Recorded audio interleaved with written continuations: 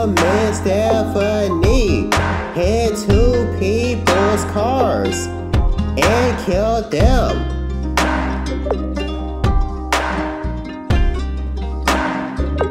She was in a hospital bed next to an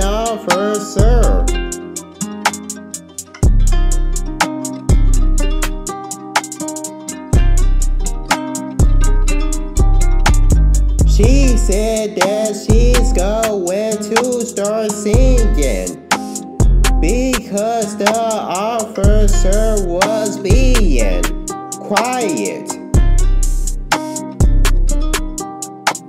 She knows that she killed two people, but she didn't show remorse.